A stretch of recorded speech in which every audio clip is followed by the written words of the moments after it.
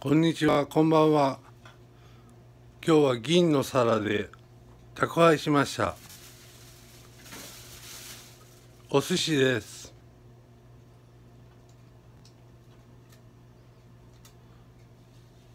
コンビニで買ってきた長ネギです。長ネギ味噌汁です。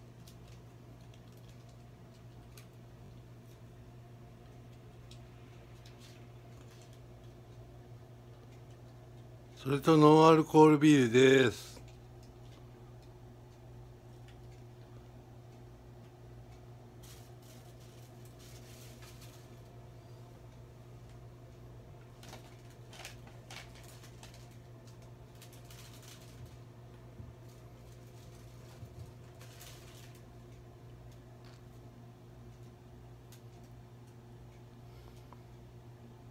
お腹減ってきたのでそろそろいただきます。ご視聴ありがとうございました。